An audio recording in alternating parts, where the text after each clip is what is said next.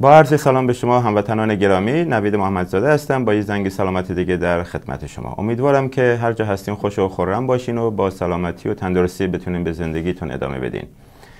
در این برنامه راجع به درد می‌خوایم حرف بزنیم. بحث امروز ما راجع به درده و اینکه چند نوع درد داریم و چه نوع دردهایی داریم و این دردها رو چجوری میشه حس کرد و در نهایت چجوری افراد پزش... شاخهای پزشکی اینا رو می‌شناسن و و برای شما به عنوان مریض خدا نکرده که با این دردها سر و کار دارین چجوری می‌تونه اینا رو مدیریت کنید؟ چون در طی 7 ده سال اخیر در تمام شاخه های پزشکی بلخص برای مریضا یه سری اطلاعات خوبی راجع به هر شاخه تهیه کردن و در دسترس مریضا قرار میدن که مریض با دسترسی به این اطلاعات می‌تونه خیلی بهتر دردش رو کنترل کنه و مدیریت کنه و با کمترین درد به بهبودیش برسه.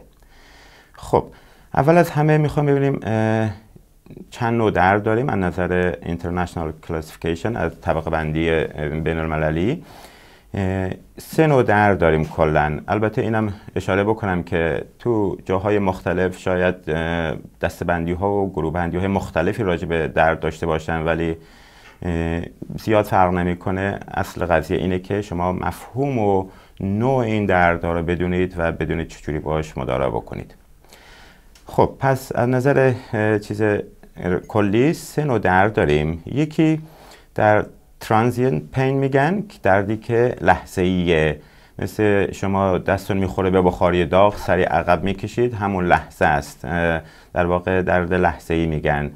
یا یه فشاری به جای بدنتون میاد یه لحظه حس می‌کنید و تموم میشه. دو تا گروه بعدی که جز گروه های اصلی درد هستن نوع های اصلی درد هستن یکی اکوت پین و یکی کرونیک پین در واقع درد که خیلی تازه با وجود اومده اکوت پین در واقع درد شدید و ناشی از یک نوع جراحتیه که در لحظه ای که جراحت ایجاد میشه تو هر بافتی از بدن این درد ایجاد میشه و ادامه داره تا موقعی که بهبودی شروع بشه و در طی زمانی که بهبودی به جلو میره حالا چه با روش های دارو چه با روش های درمان های مختلف دیگه از جمله فیزیوتراپی. به عنوان مثال این درد کم میشه کم میشه تا به بهبودی کامل می‌رسه. و گروه دیگه درد کرونیک پین که درد مزمن هست. و درد مزمن معمولا اگه اون اکوت پین یا درد تازه و شدیدی که ایجاد شده توسط جراحت تا سه ماه خوب نشه بعد سه ماه وارد دوره کرونیک پین یا درد مزمن میشه که اونم باز خصوصیات خودشو داره و بایستی بدونیم که چجوری با هر کدوم از اینا ما طوری برخورد کنیم که نه تنها بهبودیمون رو تسریع بدیم بلکه کمترین درد رو داشته باشیم. حالا من در ادامه برنامه باز اینا رو بیشتر توضیح میدم. و یه شاخه بندی دیگه باز راجب نوع دردها داریم. به عنوان مثال البته من این اصطلاحات انگلیسی رو میگم و ترجمه فارسی شاید یه اصطلاح دیگه استفاده بشه. ولی مهم اون توضیحاتیه که شما بایستی راجع به نوع درد بدونید و معمولا اشخاص بر مبنای حسی که دارن این درد رو خیلی راحت بیان می‌کنن. و اینا شامل درد یکی دیپ پین یکی سوپرفیشال پین. یک درد عمقی دردیه که خیلی در سطح های زیرین بافت ها حس میشه و اون یکی سوپرفیشال یا سطحی. پس عمقی و سطحی. درد عمقی به عنوان مثال اگه شما جراحتی تو مفصل رانتون داشته باشین یا زانوتون قشنگ حس می‌کنید که این درد خیلی عمقیه در سطح پاتون نیست. و برعکس اون درد سطحی مثل جراحت لیگامنت بغل زانو اگه شما اینو داشته باشین که تو جراحت ورزشی خیلی پیش میاد قشنگ متوجه میشین که این درد سطحیه و عمقی نیست. خیلی خب. انواع دیگه دردها که باز بهش برسیم شامل burning pain. دردی که خیلی سوزش داره میسوزونه. در واقع حس سوزش رو بهتون دست میده. و عنوان مثال خیلی از دردهای کمر دردهای شونه این حالت رو دارن. دردهای گروه بعدی می‌تونیم از ایک خود ایکی سورنس به حالت کوفتگی و در واقع می‌تونیم بگیم زخم نیست ولی شما حس می‌کنید discomfort در واقع ناراحتی دارید ولی هیچ درد مثل درد burning یا sharp pain نیست که تیز باشه. به عنوان مثال کسی که کوفتگی شونه داره یا ماهیچه های کمرش خیلی خشک شدن این ایک تولید می‌کنه. و گروه بعدی یا درد بعدی sharp pain این درد خیلی تنده خیلی تیزه در واقع. و به عنوان مثال اگه بخوام به این درد نگاه کنیم به دردهایی که شامل cartilage یا غضروف میشه. به عنوان مثال کسی که مینیسک پاش جراحت پیدا کرده باشه این درد sharp حس می‌کنه.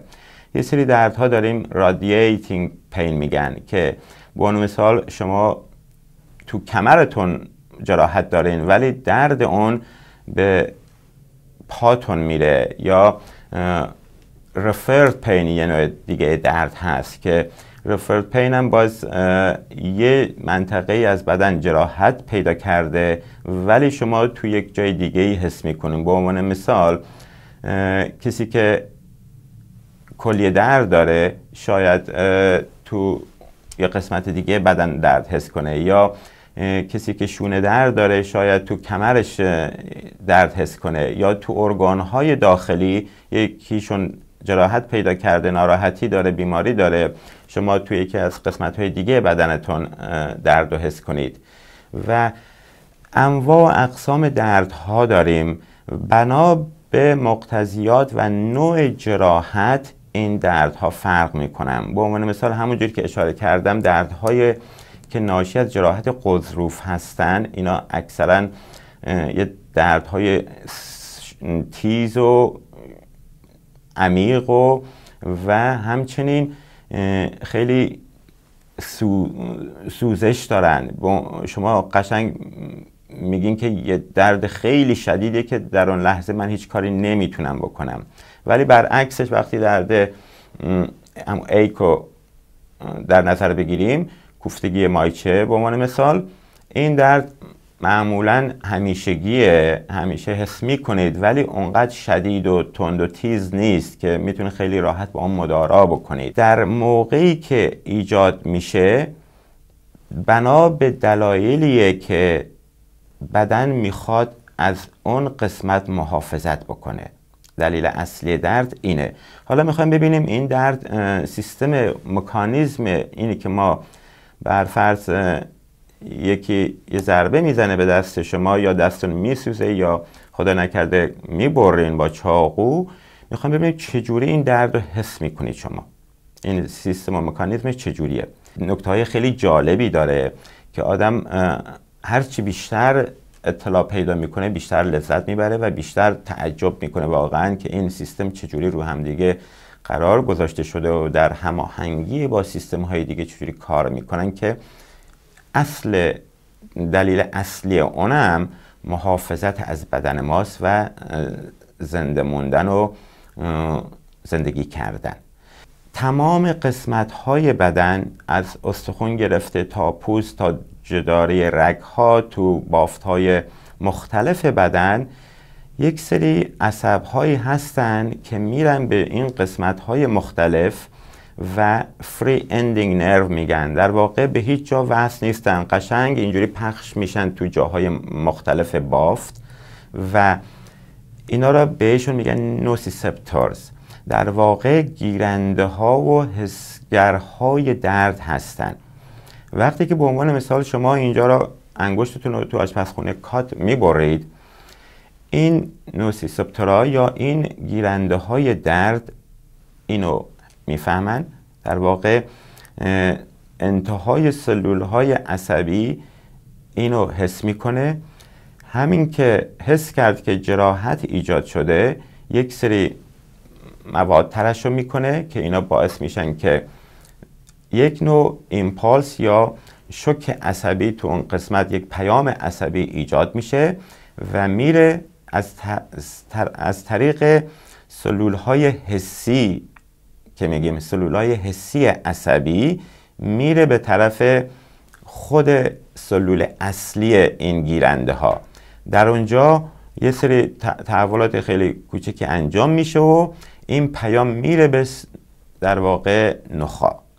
در نخا به این گیرنده های حسی به قسمت پشت نخا میرن. قسمت جلو مربوط به گیرنده های حرکتیه قسمت پشت مربوط به گیرنده های حسی. وقتی که این رفت به نخا در یه قسمت بالاتر اینا میرن به مغز و در یه نقطه ای اینا برعکس میشه مسیرشون که در ادامه اشاره می‌کنم چرا این تقاطع پیش میاد.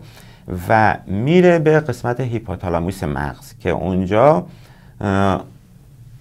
و یه سری قسمت های دیگه مغز که نمی‌خواه وارد جزئیات آناتومی و نورولوژی بشیم.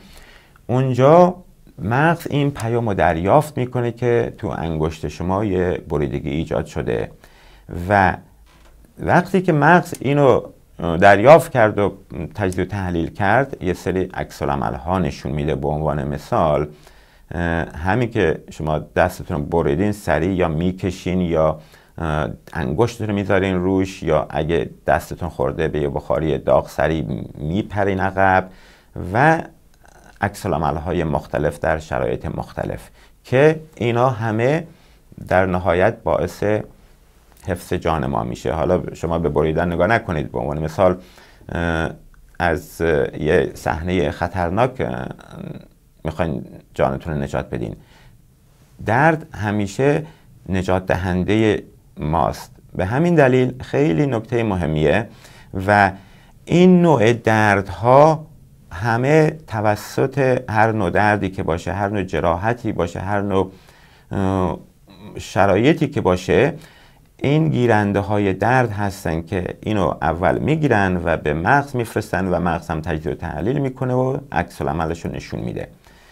بعد در واقع همینجا یه اشاره بکنم که وقتی میرین دکتر و به شما پینکیلر یا آرام بخش میده یا در یه سری شرایط آرام بخش های قوی میدن مثل داروهای کدوین یا مورفین اینا میان چه کار می‌کنن؟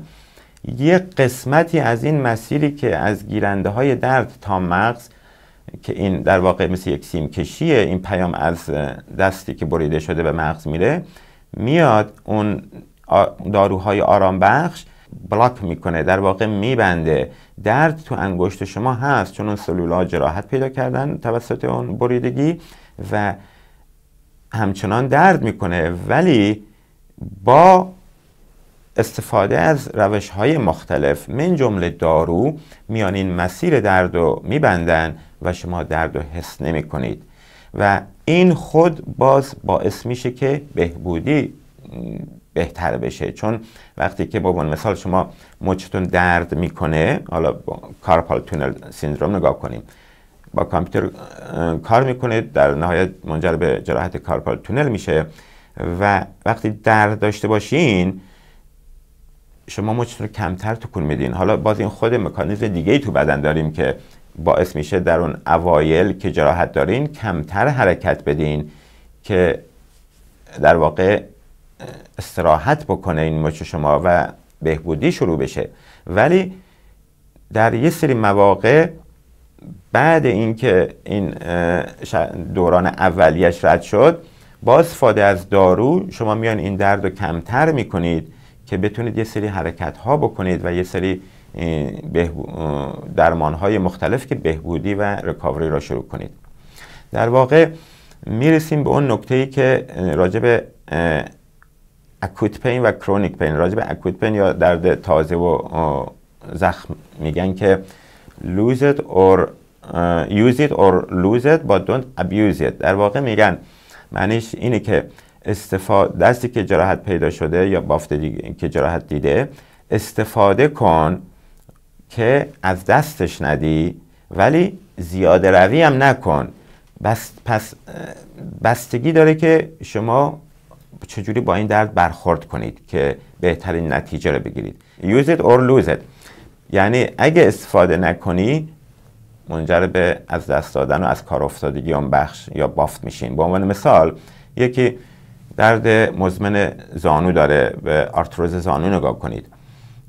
اگه شما به خاطر درد هیچ حرکتی نکنید هیچ فعالیتی با این زانوتون نداشته باشین در نهایت این تخریب و جراحت بیشتر میشه بیشتر میشه تا موقعی که کاملا حرکتش از دست میده و دیگه نمی‌تونید استفاده از این زانوتون بکنین. به همین دلیل نکته اینجاست که شما کی چگونه و چقدر با عضوی که جراحت دیده و درد داره استفاده بکنید و کار بکشید و ورزش بدین بهش که نه بدترش بکنید و نه جلوی پیشرفتش رو بگیرید. پس برمیگردیم به همون نکته که من قبلا هم اشاره کردم. Correct loading. در واقع اندازه دقیق فشار یا استرسی که شما به بافت جراحت داده میدین تا بهبودی شروع بشه. حالا برگردیم به همون درد. معمولا اینجوریه که تو وقتی که یک جراحتی ایجاد شد به عنوان مثال یه فوتبالیست میفته زمین زانوش آسیب می‌بینه. این جراحت خودش یک سیرکلی داره که از خونریزی شروع میشه. اول اون بافت وقتی که زانوش خورد به زمین موقع فوتبال اول خونریزی تو بافتا شروع میشه. تو بعضی مواقع اون خونریزی خیلی شدیده. که میاد زیر پوست یا حتی شاید بزنه بیرون متوجه میشین شما رنگ پوست تغییر می‌کنه تورم و ورم ایجاد میشه. ولی در خیلی از مواقع خونریزی تو مایکرو لول اتفاق میفته در واقع خیلی کمه و با چشم عادی دیده نمیشه. ولی اولین مرحله از جراحت همون خونریزیه. بعد این خونریزی یه سری سلول های فعال میشن. یه سری موادی ترشح میشه که باعث اینفلامیشن یا التهاب اون جراحت میشه. خود این که در واقع بعد سه چهار ساعت تا سه چهار روز این دوره التهاب طول می‌کشه و اینم باز برای بهبودی ایجاد میشه در واقع.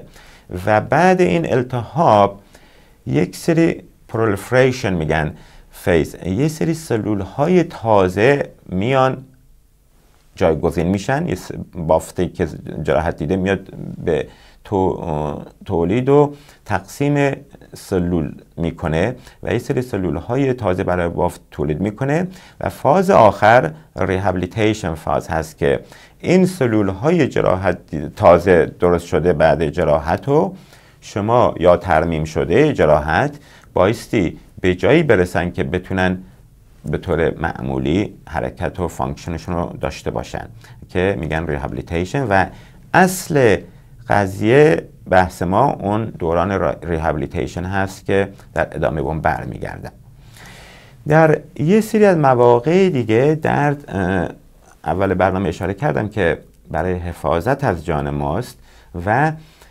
آنالجزیک سیستم میگن. در واقع شرایطی پیش میاد که شما درد شدیدی دارین ولی بدن خودش میاد اون سیستم بیهوشی اون قسمت رو در واقع یا اون اثراتی که دارو اشاره کردم می‌ذاره رو درد و ایجاد می‌کنه که شما هیچ دردی حس نکنید. به عنوان مثال شما تو کوهی بیابونی داری میرین یک حیوان وحشی میاد بهتون حمله کنه میدوین یا میفتین پاتون میشکنه. مچ پاتون خدا نکرده یا دستتون. پا میشین یه نگاه می‌کنی پشت سر می‌بینی که حیوانه داره نزدیک میشه. دیگه در یه هزارم ثانیه اتفاقاتی تو بدن میفته که شما هیچ دردی حس نمی‌کنی. با این پای شکسته یا دست شکسته می‌بینی یه نیم ساعت دویدی. بعد که می‌بینی حیوانه رفت و میشینین تازه می‌فهمی که دست شکسته. یا موقع بازی فوتبال ورزش های مختلف اتفاق میفته که طرف جراحت شدیدی پیدا کرده بعضی وقتا اصلا خونریزی شده متوجه نشده بعد که بازی تمام میشه می‌بینه این آرنجش زخمی شده. یا تو جنگ ها اتفاقات خیلی عجیب غریبی میفته طرف تیر خورده پاش سوراخ شده. ولی چون جانش در خطر بوده داشته میدویده اصلا متوجه این درد نشده. در واقع خود بدن مغز میاد با تجزیه و تحلیل هایی که داره می‌کنه در اون لحظات باعث میشه در برای مدت زمان کوتاهی شما هیچ دردی از اون تیری که به پاتون خورده یا از اون شکستگی دست موقع شرایط مختلف حس نکنید که بتونید جونتون اول از صحنه خطر دور کنید بعد که میشینید می‌بینید که پاتون تیر خورده یا دستون شکسته. پس شرایط مختلفی داریم که بدن ما را حمایت می‌کنه که جانمون سالم بمونه هرچند درد شدیدی می‌کشیم. و دردها کلا منشأ اصلی شناخت بیماری هستند وقتی که شما پیش هر متخصص پزشکی میرین با یه سری سوال و جواب هایی که راجع به نوع درد شما کی شروع شده نوع دردی دارین یا میاد کی کم میشه کی زیاد میشه آیا این درد مربوط به حرکت آیا مربوط به استراحت آیا بعد فعالیت ورزشی دردتون زیاد میشه یا نه برعکس کم میشه.